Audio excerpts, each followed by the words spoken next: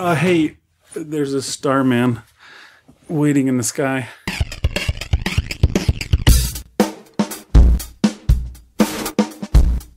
You're listening to the Dunesteef Audio Fiction Magazine. And now here's your hosts, Rish Outfield, A classic psychopath. Incapable of emotion or regard for human life. A finely tuned machine, eager to destroy everybody and everything in his path. and Big Anklevich. The man is crazy. He's the devil incarnate. Makes Manson look like Mr. Rogers. you know, like Hitler and Himmler. Ground control to Major Tom. Oh, Commencing countdown, engines on. no, Sing it, come on. no more singing, please. Take your protein pills and put your loafers on. What do they say? Put your what Helmet. on? Helmet on. There we go. Put Your helmet on. For some reason, I blanked on it. No more singing, Rish, for the love of Luke Coddington. okay. Welcome, everybody, to the Dunesteef Audio Fiction Magazine. I'm Big Anklevich. And this is Rish Outfield to ground control. I'm feeling very scared. But I think Big Anklevich knows which way to go. Yeah, we've got a, uh, a it's sort this is sort of a special event, really. I mean, it's not a special event for the people that are listening because Because they're in the future. they're in the future, but uh, it's a special event for the Dunesteef. Um, uh, basically, what happened today is we are recording this 11th. on June. I almost said June on January 11th, which Is nine months ago for you guys. was the day that David Bowie died. Maybe you guys remember that day. Maybe it's been so long you can't anymore. But um, basically, I figured it would be cool. It would be a, an interesting thing to do to take this story, which I wrote about a year and a half ago, something like that, and we would put this story on the show, and then we could talk about David Bowie and uh, I don't know our our impressions. It's it's it's not every day that I write a story with somebody's name in the title. That's a real person, and then that person uh, passes away, and it's an important person, and it's I don't know. It just seems like a confluence of a lot of things that come together and make something worth doing. yeah, it's, it, I, I think it'll be fine if we do this episode as long as you promise that the next story you write has Pauly Shore's name in the title. You think he's gonna die soon? oh, only if you write that story. so uh, tell people what the story is called, if you will. The story is called Chloe, Joey, Zoe, and David Bowie by B. D. Anklevich. And it's, it's probably self-explanatory. Uh, we just run the story, but uh, I, I seem to have vague memories that you titled it this just to piss me off. Does that sound correct? That could be true. Okay. I mean, it's part. There's more to it than that, but we'll talk about the title after the Oh. after the story. Okay. All right, so yeah, we're just gonna head into the story and hope you enjoy it.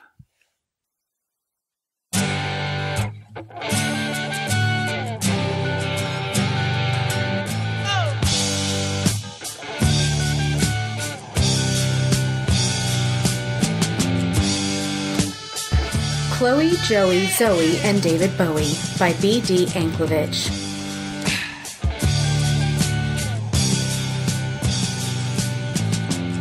If I'd realized that today would be the greatest day of my life, that all my dreams would come true in one shot, and that I'd meet David Bowie, not the David Bowie, but David Bowie nonetheless, maybe I would have worn something cuter, or spent some more time fixing my makeup after it all went to hell. I had a napkin in my purse and I used it to wipe away the smeared mascara. My eyes were still pretty red, but that could easily be overlooked, or explained away if it wasn't overlooked. But I'd be damned if I was going to make it obvious that Mom and I had been in yet another screaming match by leaving streaks of running mascara on my cheeks, like I was one of those guys from Kiss, or what was that other guy? Um, Alice Cooper, I think, was his name. I looked into the cracked face of the compact mirror and did my best to repair the damage. My face, before I'd gone to the front door and told my mom I was leaving, had been a masterpiece of modern design. It had taken a full half hour to get everything just the way I'd wanted it. Damn my mom and her bottomless lake of bitchiness. How could someone who was widely known as the town whore, believe me, I've heard it a thousand times from the bullies at school, be so disapproving of every damn thing that I wear? So what if you could see my belly button? At least I wasn't sucking guys off behind the diner when I got off work. I didn't do that shit. I was never going to be like my mom. Never. I looked back at the mirror. It was really hard to see anything since it was so small and broken to boot, but I had to fix up the damage that the tears had done. There was no way I was going to show up at Joey's house looking like this. I had a major crush on Joey, and I insisted that Joey see me at my best. But it was going to take a while, so I figured I ought to duck out of sight. A big maple tree in the field next to the feed store served my purpose nicely. I did have to be quick, though, because the sun would be down soon and the light was failing. After mopping up the wet mascara, I pulled out my eyeliner pencils. First blue and then hot pink. My inspiration, as usual, was David Bowie on the cover of Aladdin Sane. Not so much the design as the colors.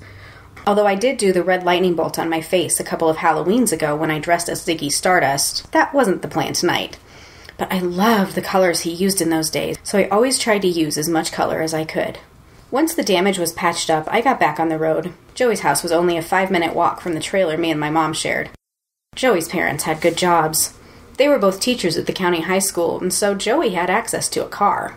Once I made it there, the world would open up before me like an oyster bearing its pearls. It only took a minute, and I was knocking on the door. Mr. Davis opened it. He'd been my math teacher for two years, and I couldn't see him without getting flashbacks at the horrors of mathematics. Luckily, Joey and me didn't spend a lot of time at their house. Hey, Mr. Davis, I'm here to see Joey, I said. Sure. Just a minute. Come in. He went to the stairs and shouted for Joey. It was only a moment before she appeared. She was radiant as usual long black spiraling curls, smooth, unblemished skin, shining white teeth, deep dark eyes, and a slim figure that was nevertheless rounded in all the right places. I was always both lustful and jealous at the same time whenever I saw her. Oh, and yes, Joey was a girl. Her name was actually Joy, but before she was even old enough to walk, her family decided that the diminutive form of Joy was Joey. You wouldn't think that a name that short needed a diminutive, but there you go. Hey, Joey, you look great, I said. I was careful to make it sound like a compliment you get from a girlfriend rather than from your girlfriend, but it was hard. I wanted her like a cat burglar wants a priceless diamond. We were best friends, but every last thing about that was difficult. I could never relax and truly be myself with her because my feelings for her were always in the way, and I couldn't just come out and tell her either. I mean, this is a small town in Montana. If you're in the closet, you stay in the damned closet. You could come out when you grew up and you in that closet moved to California or somewhere like that where they were understanding of those kinds of things. Besides, I had no reason to believe that she'd be receptive to the idea at all. And that's just one of those things in the LGBT code or whatever. You didn't impose yourself on someone that was straight. So I had to feel her out. She seemed to like boys. After all, I'd been sitting across the room at a party one time when she was making out with Toby Barnard. He'd had a hand up her shirt and everything, and she sure didn't seem to be objecting. That didn't mean it was a no go, though. Most gays try to be straight to begin with. At least, that's what I'd heard. Besides, even I like boys. I've made out with a bunch of them. I swing both ways, and I can only hope that perhaps she does too. Seems like a long shot, I know, but I can't help it. I'm going to hold on to that hope. Hey, Chloe. She said and pressed a book into my hand. I'm done with this one, so it's your turn. It was a paperback copy of John Scalzi's Fuzzy Nation. It was good. She said. I liked it. We did a lot of this, exchanging books with each other. The three of us, Zoe included, you'll meet her soon enough. We're all bookworms, and our local library was always lacking in the kind of genre books we were looking for, so we bought them ourselves off websites and shared them around with each other. I loved it. It gave me something to do while hiding away from my mom. I'd put David Bowie in my ears, a book in front of my eyes, and I could forget for a nice long while just how shitty my life was. Joey grabbed her purse, a tiny little black thing with a gold chain strap, and her keys, and opened the front door. Goodbye, Daddy. She said, going up on her tiptoes and kissing her father on his cheek. Do I take the Camry or the Pilot? Doesn't matter. Her dad said. Your mom and I are staying in tonight, so you can choose. Pilot it is. Out the door we went. We always took the pilot if we could. Not that it was especially cool, but it was miles ahead of a freaking Camry. I jammed a homemade disc of David Bowie songs into the player, and Let's Dance began pounding out of the speakers. Bowie was my thing, but I had managed to hook Joey and was getting my claws into Zoe as well. Either she was starting to like it or to hate it. When you listened to him as much as I did, there was no way to just be in the middle. Let's dance, the two of us shouted along with the song. Put on your red shoes and dance the blues. In mere moments, we were pulling up the dirt lane that led to the farmhouse that Zoe and her family lived in. They didn't farm anything, although they did keep a pretty amazing vegetable garden. They just lived there. And Zoe's parents were teachers too. So we were all outcasts together. Zoe was waiting for us and opened the door before we even knocked. See you later, Mom. She yelled back into the house as she stepped out the door. Muffled from within, we could hear her mom shouting back. Bye. Be home by midnight. Zoe frowned. She hated being the one with the curfew happy parents.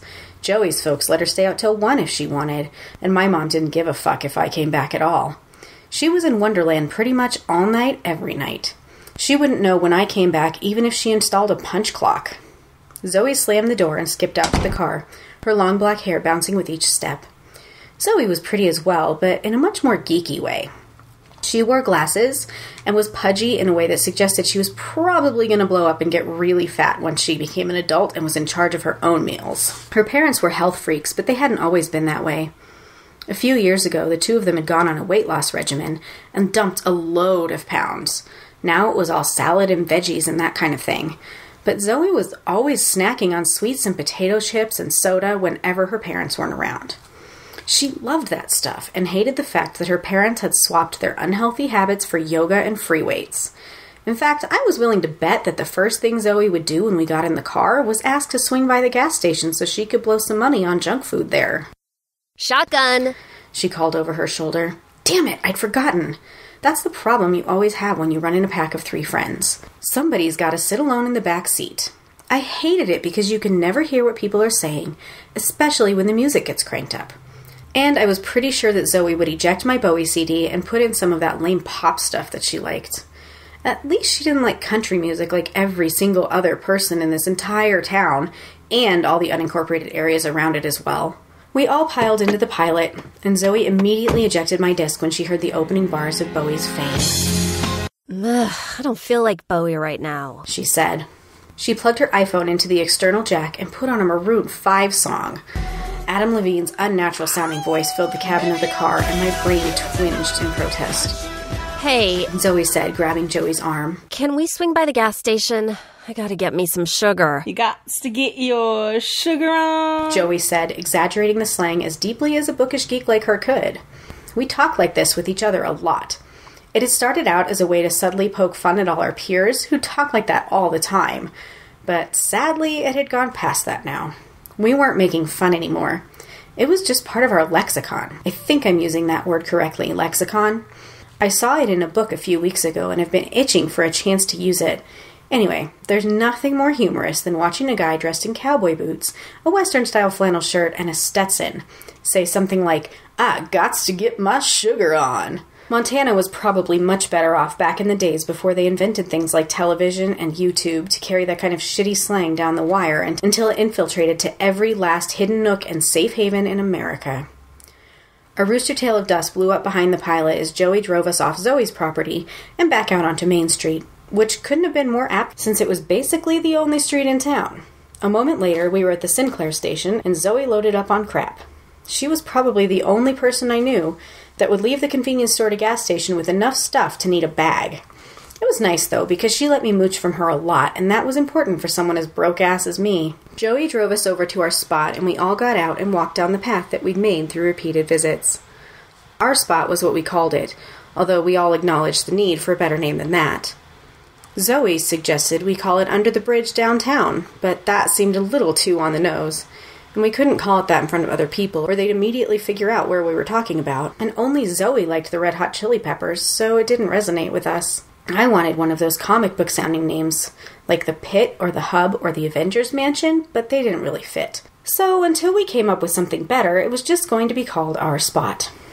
Our spot was, you guessed it, under a bridge. It wasn't downtown, though, as if our town could be said to have something so grand as a downtown. It was actually several miles outside of town, where Roberts Creek went under the road. Since it was so close to the water, there were a lot of large trees there to lay under on hot summer afternoons, and it was remote enough that none of the douchebags that bothered us at school would ever know or care that it existed.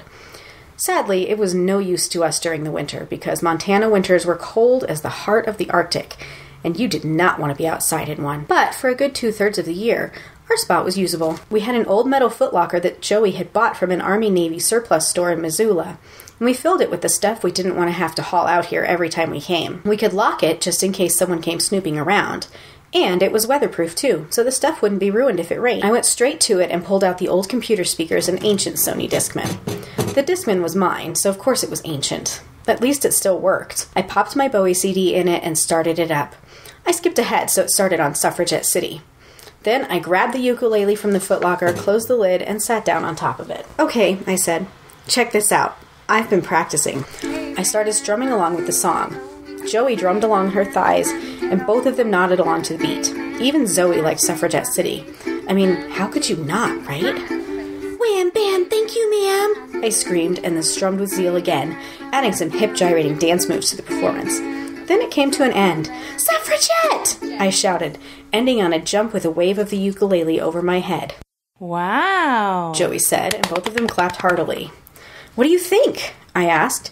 It was at least as good as the Uke Skywalker video, right? Yeah. Joey said. Seriously, I think you need to start posting some videos of your own. Yeah, well, my camera doesn't want to work anymore. I think it may just be the program, so you never know. But right now, it doesn't look like that's going to happen soon or anything. Zoe took the ukulele and started picking at it. I think she was trying to play that Gotye song, but Zoe wasn't very good, so I couldn't be sure. She stopped for a moment and reached into her shopping bag, removing a king size Take 5 bar. She ripped it open and dumped out the three pieces it included and handed one to each of us. Here, She said and held her piece up in the air. a toast to the last night of summer. It was a wonderful few days. A 104 days, I said. Zoe smiled and went on. It was a wonderful few days, and we'll miss it. Hopefully, this year will be better than last. May all the rodeo queen bitches and good old boys that give us shit every year burn in hell. We all raised our candy bars and clinked them together. Then we brought them back down to our mouths and took a bite. And may I win the lottery or something so I can finally get my own ride, I said, and raised my candy bar again. The others brought theirs up so they touched and brought them back down for another bite. And May. Joey began, raising the nub of what was left of her candy bar. Each section of the take five wasn't all that big, so stretching it into three bites was difficult. This would surely have to be the last toast. May my mom finally. Just that, and the whole place lit up like it was daytime. We all looked up as a huge fireball streaked across the night sky. It zoomed past us and disappeared over a hill to the north. Then there was a rumbling sound and a brighter flash of light that was mostly obscured by the hill. The three of us stood unmoving, staring northward, astounded. At last, Joey broke the silence. Holy shit! That was amazing! She shouted and started jumping up and down. I think that thing landed just over the hill, I said. What was it? A meteor, right? Yeah, I think so. said Zoe. We should we should go and try to find it, you think? That would be so cool, I said. Come on, let's do it. I ran over and grabbed the speakers and Discman and shoved them back into the footlocker. I placed the ukulele with a little more care since I paid actual money for it instead of just scrounging it out of the junk pile somewhere. I didn't get my hands on a lot of actual money, so it wouldn't be easy replacing it if I carelessly broke it. I snapped the lock shut and turned to Zoe and Joey. Let's go see if we can find this space oddity, I said with a big grin. Joey laughed and Zoe shook her head. As we walked the path back up to where the car was parked, Zoe said, Okay, I've never asked before, but I probably should have. What is your deal with David Bowie? Why do you like him so much? Shotgun, I called. I didn't want to be stuck in the back this time, so I called it long before the pilot was even in sight. Now, to me, asking Zoe's question was like asking someone why they felt it was necessary to eat, or why they insisted on breathing so much. How could you not like David Bowie? I mean, seriously, he was completely awesome. Even his weakest stuff was still totally soulful and deep, and his best stuff was the amazing things that legends are made of. But he was old now, a relic from the past, a forgotten piece of history that didn't get the kids excited like he once did in the 1970s and 80s. So I understood Zoe's non belief. Besides, she didn't have the factors that I had that left me predisposed to love Bowie like I do. Well, I said as we climbed back into the pilot for the quest to find the meteor, it's sort of a long story, but if I boil it down, it mostly has to do with my dad. My dad had overdosed and died a few years after I was born. Up until that point, my family had been decently well off. But once my mom found herself the sole provider for our little family, things had quickly gone downhill. We lost our house and had to move into our shitty trailer, and so on and so on goes the sad story. I couldn't say that I missed my dad because when it came down to it, I never knew him. But I did miss the idea of a dad. I saw my friends interact with their dads and was always filled with envy. And I did my best to keep my dad alive in memories, at least. I was looking through his stuff once, I told Zoe as the car pulled out onto the road and headed north. And I found his music collection. He had a bunch of different things, but mostly it was Bowie. He had records, tapes, and CDs like every single thing that Bowie had ever done. Even those crappy remixes of I'm Afraid of Americans he did with Nine Inch Nails. I liked that song okay, but truth be told, I liked Young Americans a lot more than I did I'm Afraid of Americans. Maybe it was just because I was an American and felt a little betrayed as a fan of David Bowie to hear him tell me that I was scary. I don't know. She's speaking English, Zoe said. but for some reason, it doesn't seem like it anymore. What is I'm Afraid of Americans and what is Nine Inch Nails? It doesn't matter, I said. What matters is that my dad loved David Bowie. It was something that I discovered about my dad all on my own. So I decided to listen to all of those songs and see why he loved him so much. And basically, I found out that David Bowie was awesome. He could do anything rock, soul, funk, even EDM. You know, he's like the only white guy ever to appear on Soul Train? He's totally awesome. What's Soul Train? Joey asked. This surprised me. You don't know? Your parents have never talked about it or anything? No. Oh, weird. I would have thought they would have. Well, it was one of those shows from those days when they'd have bands come on and play their music, and there was a bunch of teenagers that danced on there and stuff. Only Soul Train was for blacks. They played soul music and disco and stuff. Oh, I get it. Joey said and rolled her eyes. So, it was your dad then? Zoe said, getting us back on subject. Yeah, my dad. Oh, and Bowie's totally gorgeous. I saw him in this movie from the 80s called Labyrinth. He was the bad guy, the Goblin King, but shit was he gorgeous. Okay. And Zoe said, So you love Bowie because you love your dad, and because Bowie is hot like the sun. I can get behind that. Throw something in there. She pointed at the CD player and sat back in her seat.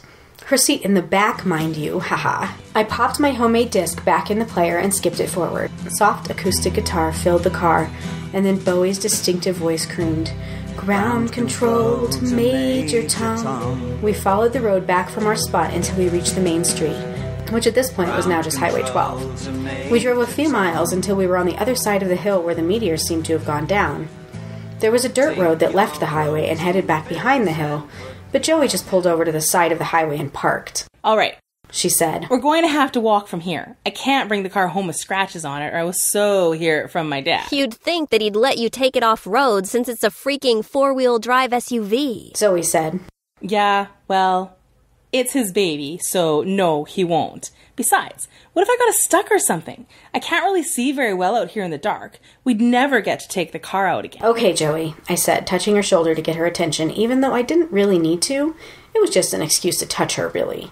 The pilot is awesome and all, but if you could have any car, if you had a bunch of money and could buy whatever car you wanted, what would you pick? That's easy. I want something really cute. I'd get a VW Bug. They are cute as a button. I saw one when I was in Missoula the last time that had these little things over the taillights that made them look like flowers. It was, oh, it was just so cute. You know, we wouldn't be able to take that up this dirt road either, Joey. said Zoe. We'd still be walking here. What about you, Zoe? I asked. What would you pick? I'd want something cute too. I think I'd get one of those, um, PT Cruisers. That's PT what I'd Cruiser? get. Are you kidding me? I said. That's not a cute car. That's like an old person's car or something. It is not, Chloe. Zoe said, pushing me. old person, I said again, and ran up the path to stay out of reach of Zoe. When I made it to the road, I stopped to look back at Joey and Zoe, who were lagging behind me. You know what I'd get? I'd get a Mini Cooper. You want something cute? Those cars are super cute. And I'd get the convertible one. I saw headlights flash across Joey's face, illuminating her dark lips and flawless complexion, and then everything was pain.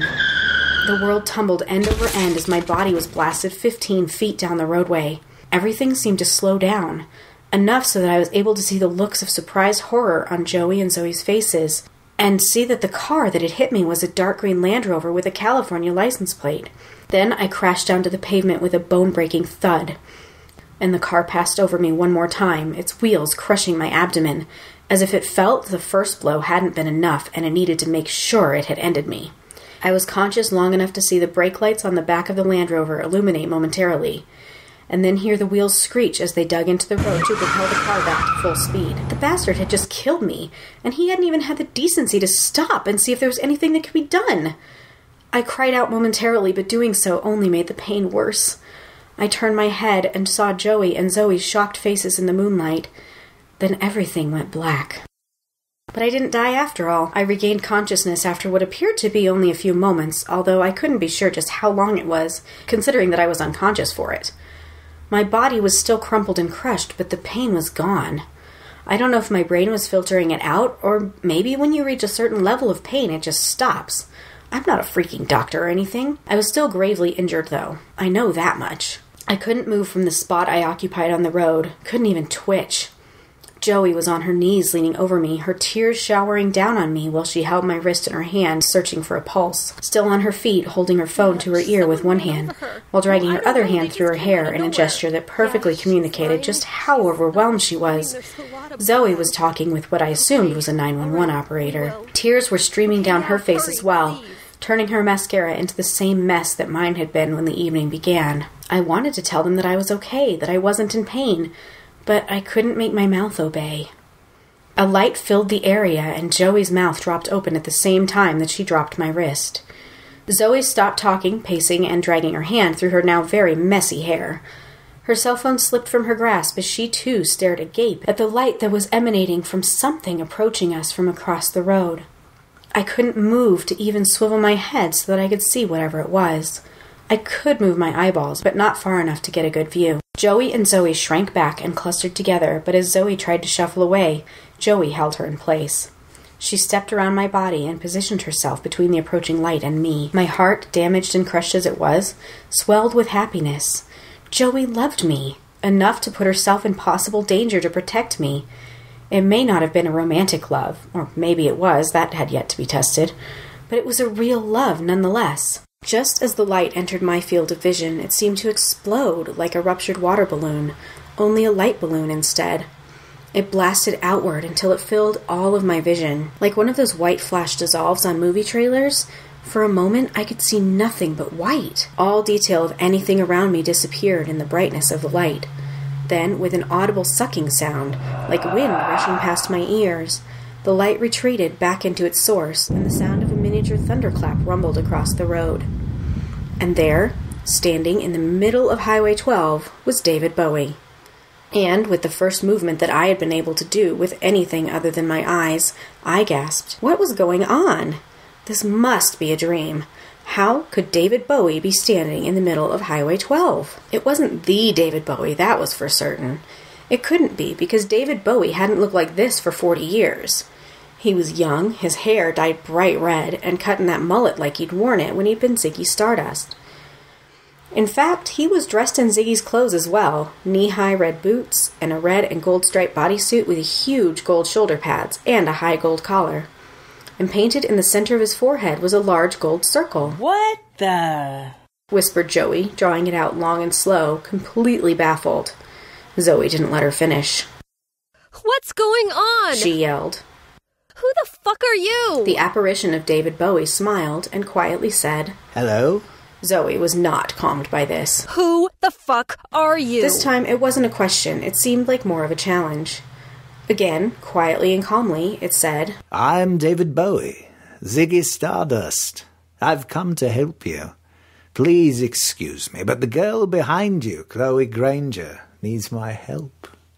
His voice was melodic and beautiful, as though he were singing one of his many famous songs, only in spoken form somehow. Bowie gently pushed his way between Joey and Zoe and knelt by my side. He was gorgeous. Oh, so gorgeous. My body unlocked enough that I could move even further, and I smiled as wide as I could. It probably looked ghastly. I'm sure my face was covered with blood. It probably gushed from my mouth when I smiled. I didn't feel it, so maybe it didn't. I couldn't really feel anything at this point, though. But even if I had, I didn't care. Seeing David Bowie there before me, kneeling at my side and touching me, just made me happy. This may tickle a bit, he said, and his fingers began to glow. He set his hand on my chest. The glow brightened until I could no longer see his hands. Then I noticed that I was glowing as well. With the glow came sensation. All the pain I had felt when the car hit me, but had been blocked from me since, dropped onto me like a bucket of ice water. I shrieked. I bucked and thrashed under Bowie's hand, but he pressed harder and held me in place. Stop it! I heard Joey shouting, Leave her alone! She's been hurt enough already! The pain was collapsing in on itself, though. Already the agony was only half what it was before Joey had started shouting. Like the light burst that had resolved itself into the form of David Bowie before, the pain burst sucked backwards like a rushing wind until it coalesced into one tiny ball under Bowie's hand. He smiled and raised his hand away from me. My chest rose for several inches as if pulled by an invisible string, and then finally that string seemed to snap and I dropped back to the asphalt. In David Bowie's hand was a ball of what could have been called dark light. It glowed around the edges, and there were sparkling facets within it, but otherwise it was as black as a windowless room with the light off. Bowie closed his hand over the ball, brought it to his mouth, and blew over his fist like a sleight of hand artist finishing his trick. The ball of dark light broke apart and flew away like a handful of dust in the wind. My body was back under my control, and I was pain free. I flexed my stomach and brought myself to a sitting position. My clothes were covered with gore and drenched in my own blood, but every wound on my body had closed up. My skin was whole and unbroken. Even the spot on my elbow where I'd had an annoying body zit had cleared up. How? was all I could manage to say. With the power of the cosmos, darling. Bowie said. And. I paused for a long moment, struggling with which question to ask first.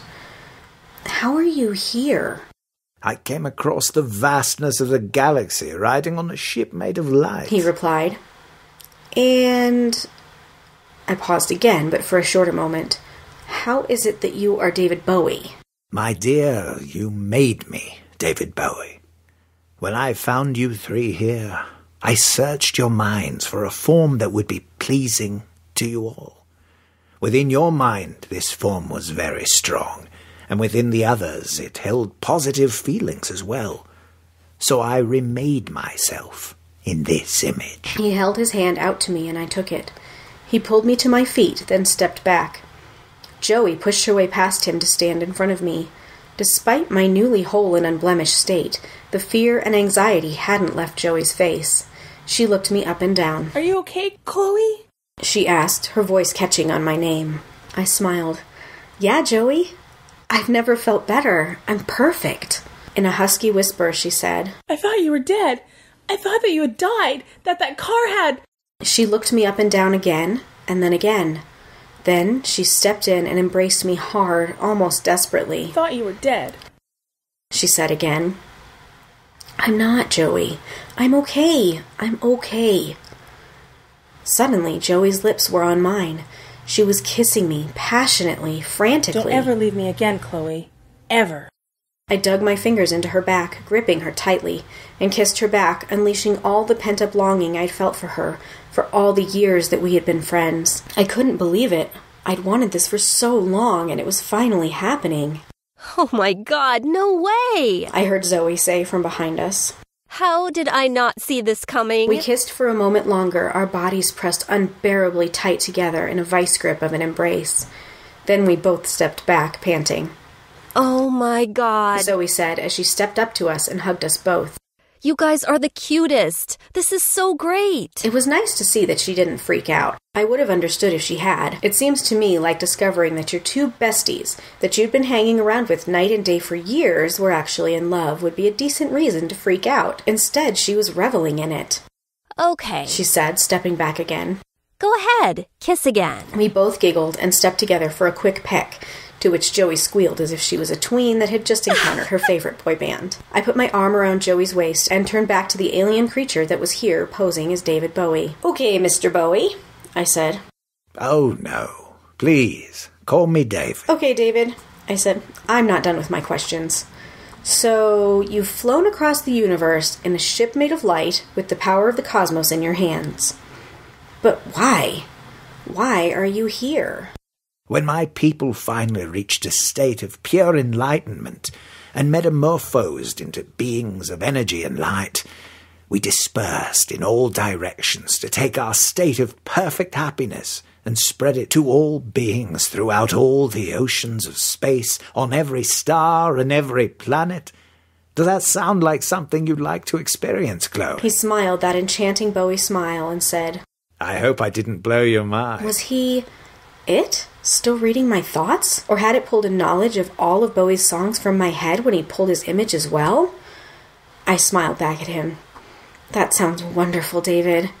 Go ahead and blow my mind again and again. Please take me away from here. Anything would be better than going home to my shitty trailer to listen to my mom scream at me some more. I looked over at Joey, who smiled and laid her head on my shoulder, and Zoe, who nodded her head vigorously. The only thing I ask is that Joey and Zoe can come with us too, wherever it is we are headed. David Bowie stepped back and performed a lavish bow. Your wish is granted, my dear. Then he took us by the hands. Joey and I separated and took Zoe's hands in ours. Happiness and joy will be yours forever. I laughed at that. Happiness and joy. Happiness and Joey. This day had been the most wonderful of my entire life. I had been run over by a hit and run driver in a high speed collision, and my bones and organs ground into the pavement, and still it had been the happiest day of my life. And now every day from here on out would be just as wonderful. I smiled as wide as my face would allow as the alien light grew and grew until it enveloped us and whisked us away forever.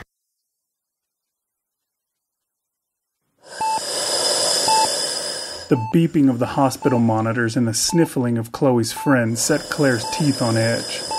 She'd heard that there were different stages of grief and that anger was one of them, but still she felt guilty for being mad rather than sad.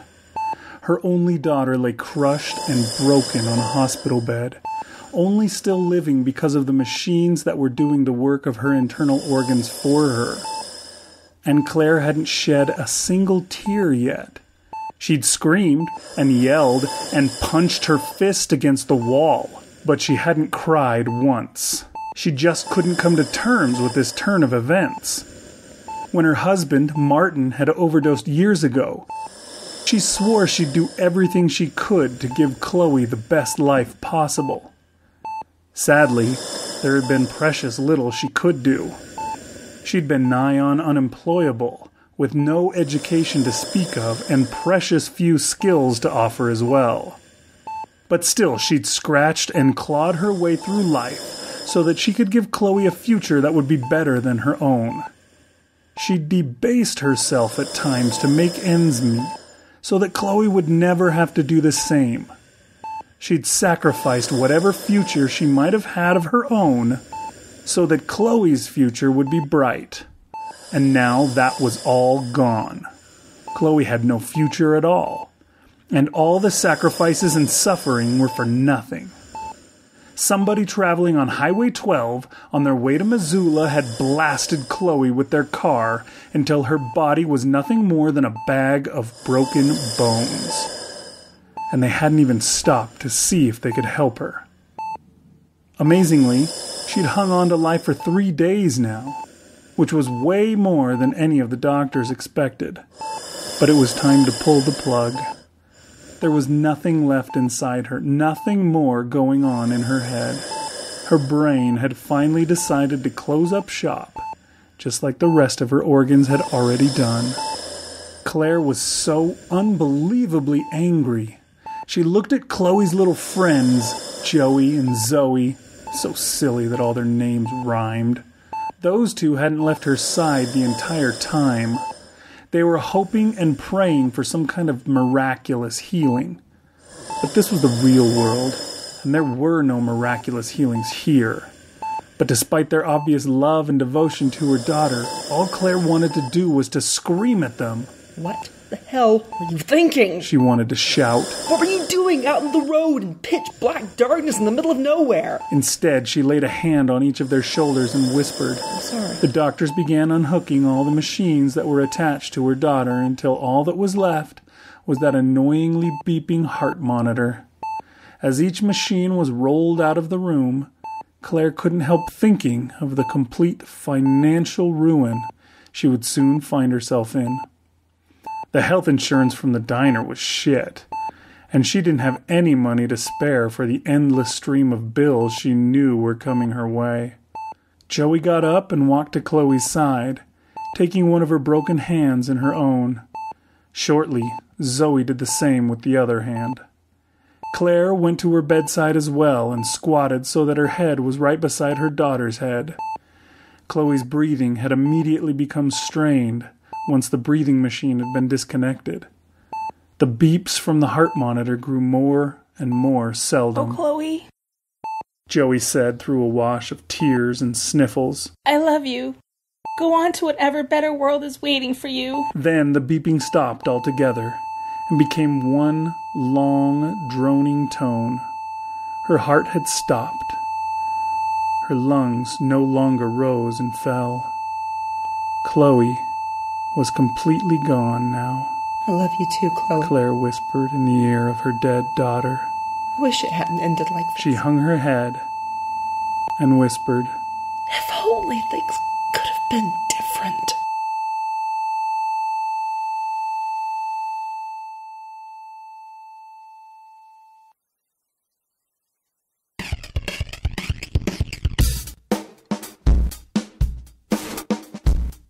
Okay, welcome back, everybody. Thanks for listening.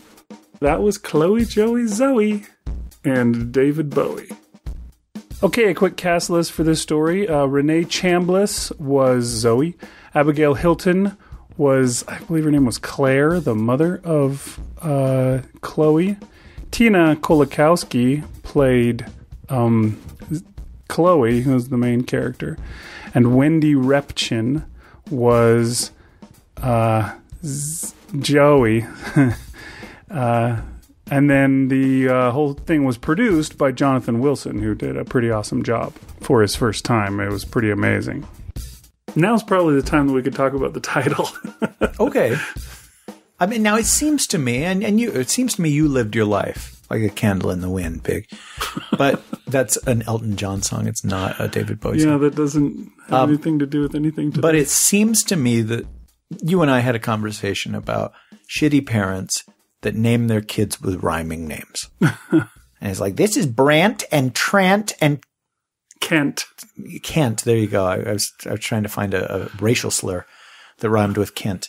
And you're just like, oh gosh, why would you? Why? Why would you do that? Yeah, oh, that's horrible. And it's something I don't know if we agreed on, but it certainly drives me up the wall. It's just like, wait, no, you should have been sterilized. You don't get to have kids when you do stuff like that. and you said, well, you know, next story I write, all the kids are going to have rhyming names. So F you. Uh, and it not only was n- named that way, but the title had all the rhyming names in it. Does, am I remembering that correctly or is that? Oh, I think you're just making things up. Uh, okay. Well, tell me the actual origin of this story then. The origin of this story, or the title, anyways, I should say, the title is the origin of the story, first of all.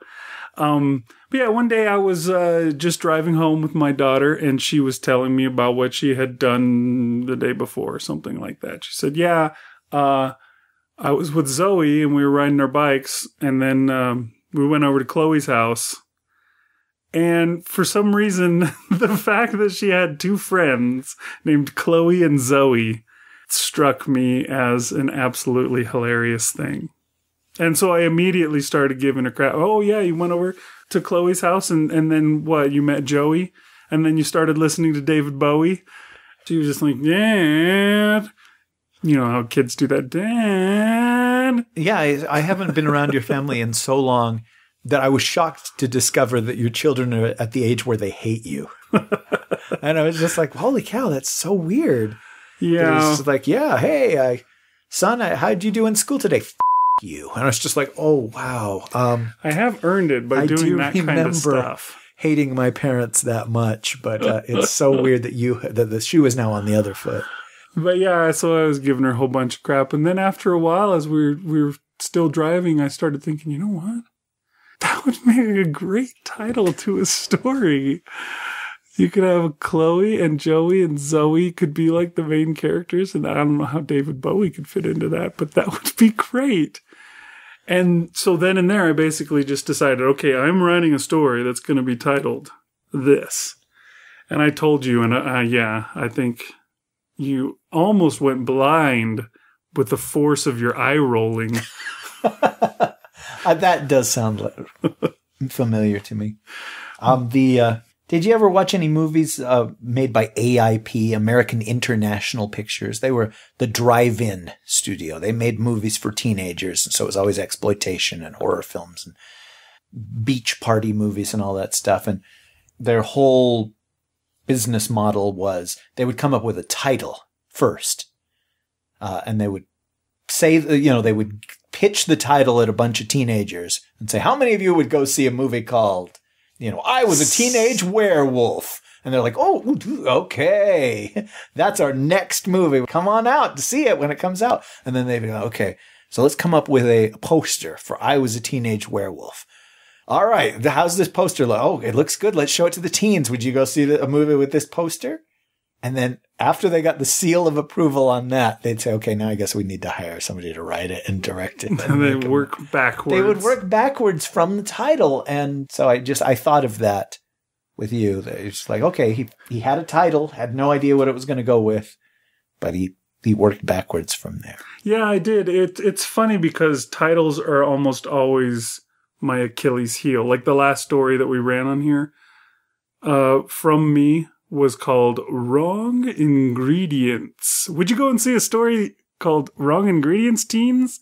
You know, they're well, I'd like going blind from the eye roll. Wrong. Wong ingredients? How about that? The shlong ingredients, ladies and gentlemen. The dong ingredients? you- I see it's getting better and better. Thanks, John. Anyways, yeah, see, that's a terrible title, but it's what I could come up with. I have a tendency to not be able to come up with good titles. Unless, like, the title comes to me really early on, or it just kind of comes out. It suggests itself to me before I get very far. Then I think, oh, okay, this is a good title. But other times, yeah, I, I don't have anything. And so, oh, well, I guess wrong ingredients. I kind of. So having a title to work from from the very beginning, that's this. I think this is the first time I've ever done that. Having a title and and then going from that. Um, I think there was a time once where you wanted to just take Metallica songs and just be like, okay, you have these three Metallica songs. Go write flash pieces that have to do with this. Yeah, the effed up thing is I was going to bring that up myself. It's like before we ever had a Dunesteef podcast that ate up all of our time, I challenged you. There's like, okay, let's get a bunch of Metallica lyr- uh, titles, and we're going to write stories based on these Metallica titles because you liked Metallica, and I thought maybe I would enable you in some way to actually. and they have write. good song titles. I mean, you take something like "Frayed Ends of Sanity," and you can probably come up with some kind of an interesting story with that as your title. yeah, there was this really, really good title, and I can't remember. And you're too close to it to know which title I'm thinking of, but I just remember thinking, "Oh, that's such a great title for a for a story." I guess I'll cut that part. and maybe you know, if you if you win that lottery that everybody's talking about, um, which is long in the past to the listeners, then yeah, we could do that whole Metallica thing. I considered doing that instead of what we did tonight. Just saying, "Hey, we're driving, and we're gonna go buy ourselves some tickets." That would have been fun. I keep thinking, I mean, you and I, it's been two years since we went on a road trip which is sort of a lie, but it's not because we did go to my family cabin one night, but it took Yeah. 90 minutes to yeah, get it's there. not.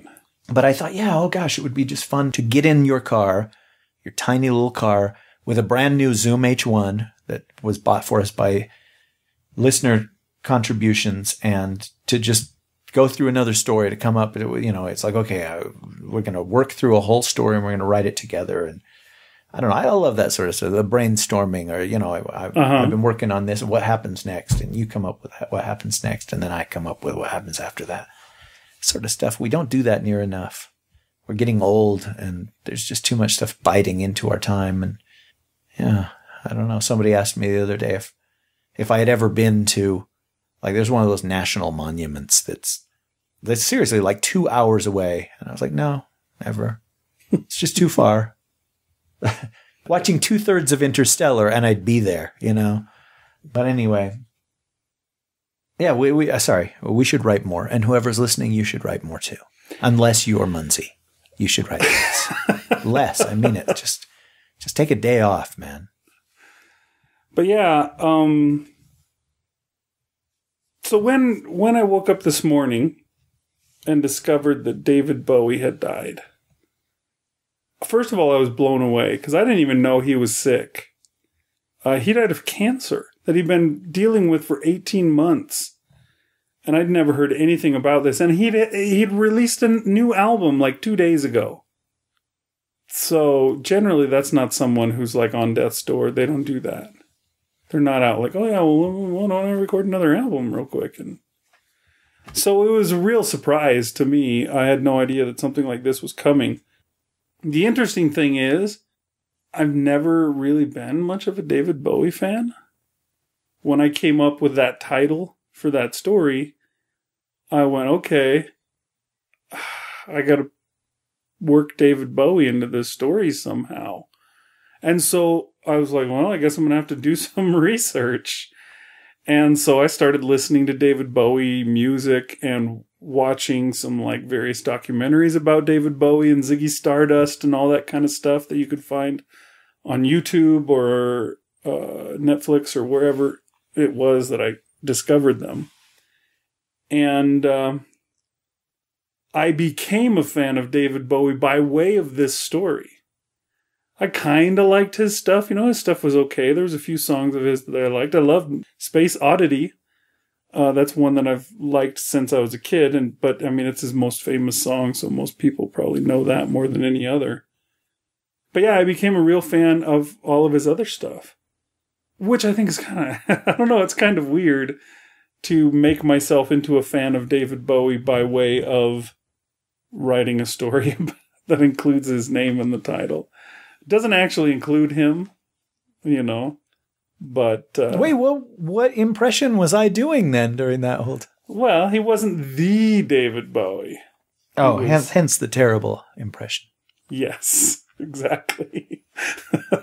Have you been? Are you a fan of David Bowie? He seems like kind of dude that you would probably be into. He's all wearing makeup and has the hair like the Smiths and the Cure and all those bands that you loved growing up. Although by this point, David Bowie was old and out, right?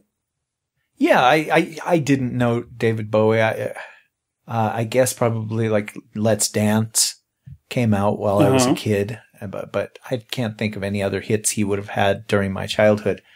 Uh, my introduction to David Bowie really was um, my uncle died, and he left my mom all of his records, and I w- went through them and I, I culled three or four that I thought might be interesting, and uh, the one that I would listen to over and over and over and over again was the Rocky Horror Picture Show soundtrack. Okay. But he had this album called uh, Ziggy Stardust and the Spiders from Mars. And I was just like, whoa, what the heck? so I grabbed that and I took it in the record player, you know, and, uh, and I listened to it and yeah, it was just probably too much over my head. But I did listen to that Ziggy Stardust, you know, song over and over again, you know played guitar. like some cat from Japan. When the kids had killed the man, I had to break up the band. Uh, I just I used to listen to that over and over again. It was I, I don't know why. I guess I was trying to find some kind of sci-fi angle of the spiders from Mars being literal, and and that and and anyway, that was pretty much my introduction to Bowie. And Did you ever look up the story of the album and the whole bit? no, not until I was an old man. Probably around the same time that you said, "Oh, I've been." I watched a documentary about Ziggy Stardust, so I went out to research it so I wouldn't sound foolish when we talked about it. And then you never brought it up again. It's interesting stuff. I mean, I've heard, I listened to the classic rock station growing up, so a fair amount of his songs you could find on there sometimes, but not often because he was only sort of in that realm. Yeah, I, the classic rock station I listen to, the only song they play is Under Pressure, which is great, but I think they play it because of Queen. They don't play it because of Huh. Bowie. they would play uh, Space Oddity on there plenty. That's where I heard that from. But uh, on rare occasions, they would play songs like uh, like the Ziggy Stardust song. Um, what other song would they play from that? They play Fame. I don't think they would play Fame. Fame was a little too funky. Funky. Yes, Funky Brewster. Uh, That's pretty dang cool. We never made that joke before. Sorry that I'm finding that so amusing. uh, I, I want to say, you know, I think on Nirvana's Unplugged album, they played a cover of The Man Who Sold the World. Yeah, okay. Uh, but yeah, I mean, I, I knew, We could More be of heroes his- just for one day. yeah, there was, I know that one from Dog. the, from the freaking, uh, cover version by the Wallflowers. Wallflowers. Sadly, that's me where I first heard that. Most of his stuff, though, yeah, like Let's Dance and, and China Girl? Fame and China Girl well. and stuff. I heard those on the regular top 40 station in the 80s and not uh, on the the classic rock station. So he was one of those guys he he did so much so many different styles. He never stuck with one thing or the other, you know. He started as like a folk singer kind of a guy and then he moved into this crazy glam kind of a guy. Then all suddenly he was a soul singer.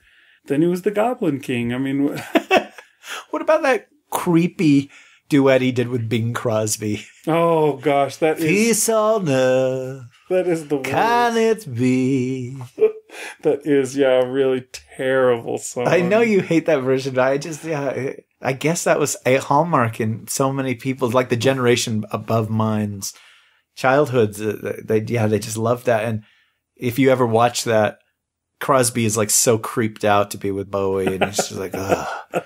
Says my agent said I had to do this to be popular with the kids. But yeah, David Bowie was definitely a different kind of dude. Y- You could never tell what his deal was. Even to the, his dying day, I'm pretty sure the guy was bisexual. But I'm not certain. He was married more than once to a woman. He married a supermodel, which is what most rock stars do, but he didn't divorce the supermodel. He didn't fight or beat her up or whatever other weird crap that rock stars tend to do with their supermodel girlfriends. He was one of those dudes that had always had the coolest friends. He was the guy, you know, like how every rap song has, uh, like for example, like Pitbull comes out with a new song, but it's never just Pitbull. It's Pit- Pitbull featuring featuring, yeah, Will I Am and a whole Yeah. list of people: Will I Am and Eminem and John Denver. Yeah, Yeah. the the greats, the luminary rap. artists. So that's the thing now, but like seems like he was always doing that kind of stuff. Bowie back in the day, he had the song with Queen.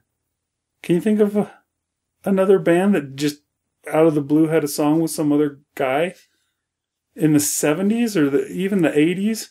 There was a few. I guess Michael Jackson did his Paul McCartney. Paul McCartney songs. Uh, and his Stevie Wonder, was Stevie Wonder that he Ebony and Ivory with? Or was, no, that was Paul McCartney and Stevie Wonder. Right? I'm totally mixing that up. Yeah, right. So Paul McCartney and Stevie Wonder. Oh, okay. We'll forget. But anyways, you got a few of those, a few duets, My Endless Love or whatever. But for the most part, people didn't do that. But Bowie had, you know, Brian Eno. He did several albums uh, collaborating with Brian Eno. He had that "I'm Afraid of Americans" song I where do remember he that. did it with uh, with Trent Reznor from uh, Nine Inch Nails. Nine Inch Nails, and on and on. If Plus- that's- His bulge in Labyrinth inspired an entire generation or, or, or brought into pubescence an entire generation. I have heard a lot of females talk about how much they like David Bowie Because of that. in the labyrinth. They Yeah. never mentioned his bulge. He was doing the Lord's work there because you. yes. you mentioned his bulge because apparently it was important to you. They never. They never say the bulge out loud and admit to it, but they But always talk thinking it, about. yes. Yeah, they may be thinking it. I wouldn't be surprised. Like the the girl, I I cut a news story today about David Bowie's uh, death, and they interviewed a local radio DJ, and yeah, her favorite Bowie song was "Dance Magic Dance."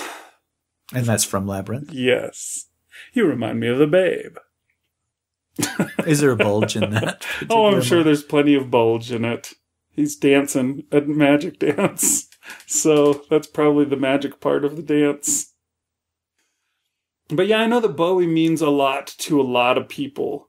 He was that guy.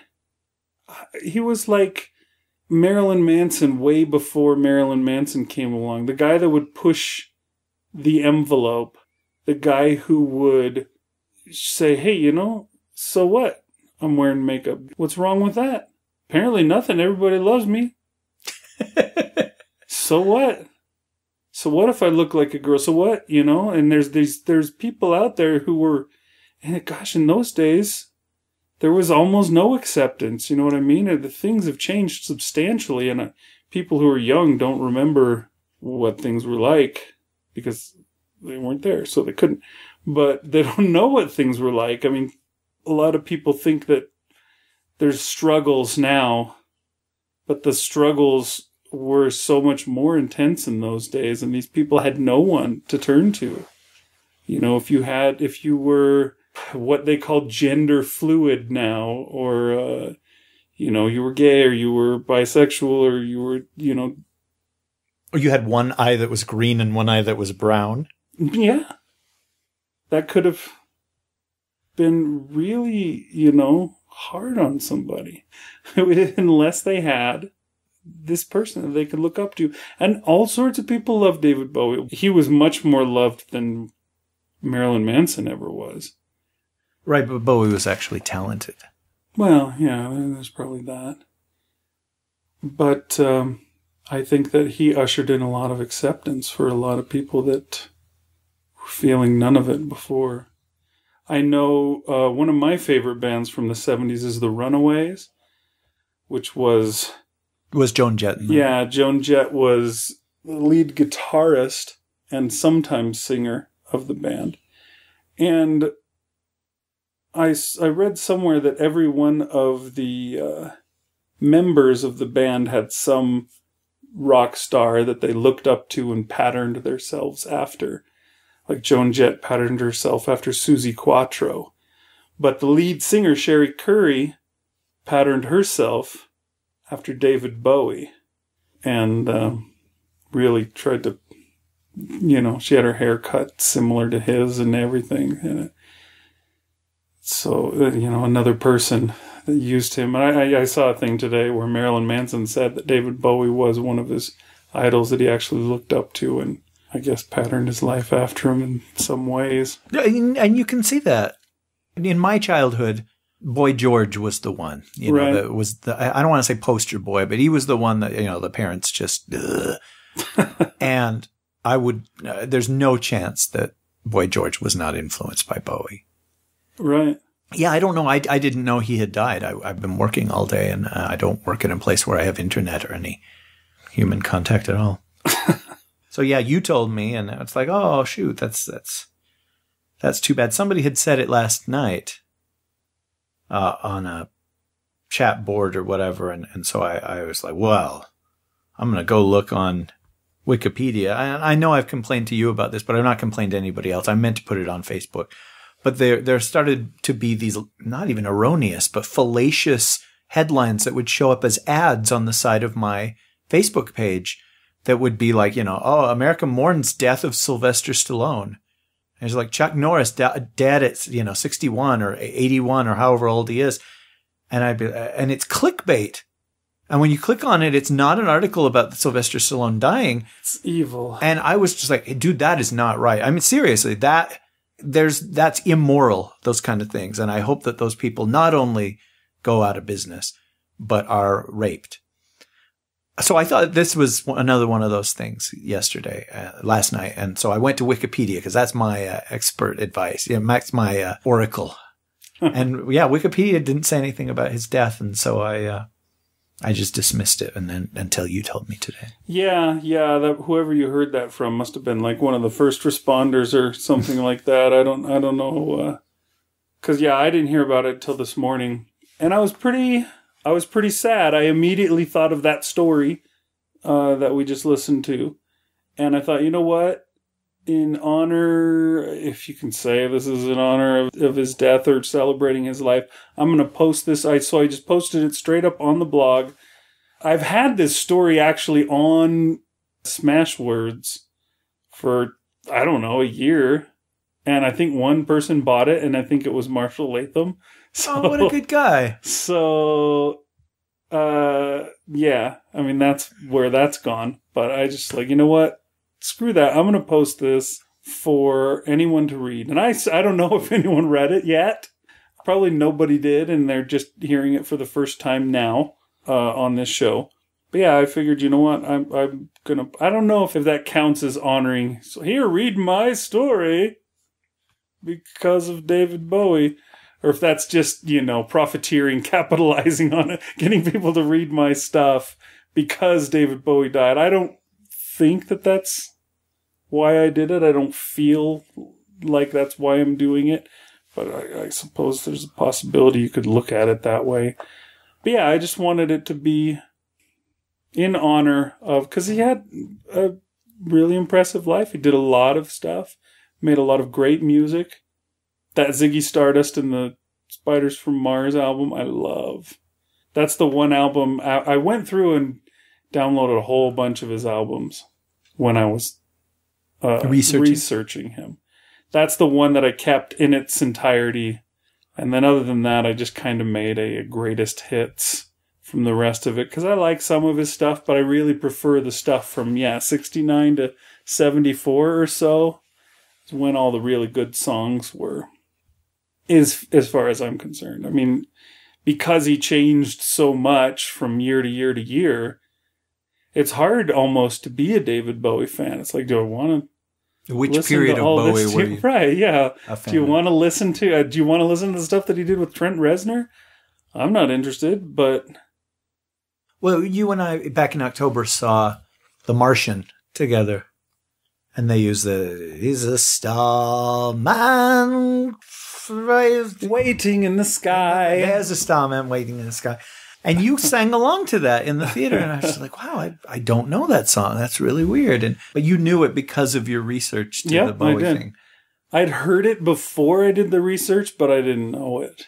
Mm, I wouldn't have been able to sing along with it. I just been like, "Oh, that's that Ziggy thing." but uh, I wonder if there are other artists that I could do the same thing with. Like, for example, Bruce Springsteen is uh, an artist that all sorts of people think is great. You're not a fan. I am not a fan. I, I his stuff is so so. Mm. I've never. I don't think I could say I even like any of his songs, much less love. But if I made a story like Arlene and Gene and Bruce Springsteen, would I be able to become a fan of him by way of doing research, or would that not be the case? It makes me wonder. I, I don't know. I, Bruce Springsteen is it was so much more mainstream in our youths and, and adulthood that is, it's amazing to me that you wouldn't already be a fan or you, you would be a fan if you were ever going to be by this point. Um, he's got an album called Darkness on the Edge of Town. And the first time I heard about, I heard that, and that was like 25 years ago, I was just like, oh my gosh, one day I'm going to write a story called Darkness on the Edge of Town or a story collection or a novel called Darkness. Oh my gosh. I just loved that. And then I heard the song and I'm, I still want to do it, but it, it didn't. It didn't suddenly open up a door and it's like, okay, now I know what the story's going to be about. But yeah, sorry, but it was, now we're talking about Springsteen. Oh, that's okay. We can have tangents. He'll get his, his Yeah. episode someday. Hopefully not someday soon. It's pretty sad. Bowie was 69, but just barely. I think his birthday was the day that his album came out, which was like two days ago. 69 is not very old. It would be nice if, if Springsteen could live longer than that. Or anybody, really, when it comes down to it. Nobody wants to die before 69 because it's not that old. Except for Pauly Shore, remember? Oh, Pauly Shore, right. I forgot about him. I don't know. There are a lot of these guys that they wouldn't have been around Raleigh, for so long. Macaulay, and Pauly. Oh, gross. Macaulay, I guess, technically is a real name, but yikes. But there- you know, there's a lot of these artists and, that have been around for a long, long time, and, and I, I would think if you went spelunking in their catalog, you would find something to love about most of these guys. I, every once in a while, there's somebody where you're just like, I don't get their popularity. I just, oh, I hate the voice, or I hate, you know, that all of their songs are about this, or you know, whatever the deal is. Uh huh. But you know, you were talking about Pitbull, and you know, and the, the the popular music of today just for the most part it doesn't do it for me.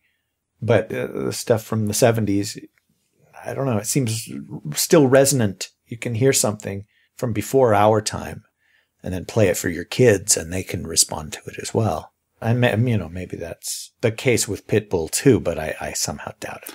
Yeah, I think I mentioned this once years ago, but uh, they say the generation gap is smaller than it's ever been. I don't know exactly how to describe it, but basically, there's less of a generation gap. There's not like your dad listens to swing music and you listen to rock and roll. Ah! And and they're not sure exactly what the deal is, but youth today are listening to, I don't know, ACDC and all that kind of stuff. And more so, it's like the new music. Even the kids today know the new music that's coming out isn't quite as awesome as the stuff that came out back in the day. And they listen to that stuff as much as or more than they do the stuff that's new. And I, one of my daughters is super into older stuff. And another- Define older stuff. like for example, she's been listening to Journey Okay. nonstop for the last few weeks and singing along at full volume to "Don't Stop Believing" and "When the Lights Go Down in the City," etc. Okay. And I have another daughter who puts one foot in both camps. She loves 80s music, 70s music, stuff like that, but also really likes whatever the hell they listen to these days. the stuff that I gave up on about three to four years ago, I just completely just gave up on. I said, you know what? There's nothing to bother with. If something's really good that I'm going to like, I'll probably eventually hear it and the rest I can just do without. And there is that paradox, or I don't know what they call it, but it's like the, you know, you say, oh, I like things better the way they used to be than the way things are now.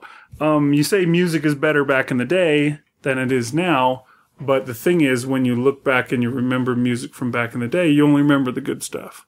You don't remember the crap that was on the radio that never made it past number 39 on the top 40 chart, but you still heard it 30, 40 times before it went away. Whereas now you're hearing all that stuff plus the good stuff. So maybe it's not true, but I, I don't care. I'm not listening to the top 40 station anymore. I leave the top 40 station on my radio now though, which my wife sometimes drives my car and she'll change the channel to that and I'll get in the car and I'll turn it on. And the thing about it is it's so bad that immediately I'm like, oh crap, I need to. Yeah, it's funny. It's like I, I get in the car with you, and it's like I'm your dad, and there's a dirty movie you've been watching, and you'll instantly be like, "Oh, I, I, I, I, I didn't. My my wife must have." You've done that a couple of times. You did it today, Yeah. and you're just like so embarrassed and ashamed. Hey, please don't judge me. I, I don't like that kind of stuff. Yeah, I hate it. It's so bad. And I and I realized that what I've been doing a lot before was I like get into my car and then, you know, whatever I was listening to would come on and I would start driving and then I'd realize, oh, I had an audiobook that I was listening to. I need to put that in. And so I'll be like driving and like trying to hook my phone up to the thing and then like finding my Audible app and getting to the thing and play it the whole time I'm like trying to drive and watch the road and watch the phone. And of course, He's trying to text too. eventually I'm going to crash and kill myself. And so now I've decided I'm going to leave this crappy top 40 station on the radio so that immediately I will put my phone on before I start driving because I'll be safe that way. It's a safety measure now. The, the absolute shite music that comes out of that station is perfect to keep me from driving dangerously. Well, that's good. Then that means Drake isn't all bad. That's right. It has its uses. We're way off course. We were talking about David Bowie. We were, and you know what are you going to do? Maybe we've made it to the end of that. I think so. We probably talked a lot. I hope people liked your story, and uh, I had, we asked people if they would donate, right? Well, maybe we didn't. Maybe this is far in the future, and people have donated, and we don't need no more. Do- Wait, that's never going to happen. Please Yeah. donate to the show. Yeah, let's let's mention it again. Just donate to the show. We need some uh, some funds to replace some equipment that has gotten old and shoddy. It's caused a lot of issues recently, and so we are uh, trying to replace that stuff so the issues will go away and we'll be able to get out more episodes. So if you like the Dunesteef and you want more episodes, if you donate, then we could replace that and have more episodes. So yeah, swing by the site, dunesteef.com. We've got the little buttons right on the side. You click on them and you can donate five bucks a month, five bucks a quarter, or you can just donate whatever it is that you want. A one-time donation. You just click on that one and you can pick a number. Yeah, any amount is appreciated. That's right. So yeah, thanks for listening to the story. I hope you liked it. And uh, thanks for being there. Keep listening to the Dunesteef and keep listening to Bowie. That's right. He's he's gone, but he doesn't need to be forgotten. Thanks for listening, everybody. We'll see you later. Tell my wife I love her very much. She knows. The Steve is released under a Creative Commons Attribution, Non Commercial, No Derivatives license. So you can give it to anyone, but you cannot change it or make money off it. Believe me, we know that from experience.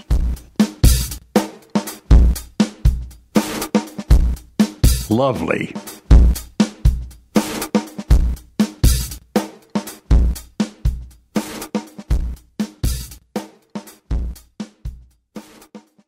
Take two. He was one of those dudes that had always had the coolest friends. Like he was the guy, you know, like how every rap song has, you know, it's. I'm trying to think of somebody who's current. Who's a, who's a current rap star? I don't I don't listen to rap, so What's the name of that person my niece really likes? I almost said Eminem. Well, you always use Pitbull as the worst example. Oh, okay. It's just I'll use. Pitbull. He is current enough. I okay, we'll say Pitbull. But if I made a story called Gene, come on, give me more names that rhyme with Steen. Oh, Arlene, Gene. And There's there's a bunch of like Raylene and Kayleen and, and is there one that's Ray like? Oh, shoot, shoot, Sandrine. Yeah, yeah, one that's more een that's not with an L, like a Ray instead of Ray Lean, like Ray Jean, Ray Steve McQueen, Mardine. What about a Indian name? Just tell the joke. All right. Stay. Bark, bark. Good boy. Good boy. Uh, really big? Seriously?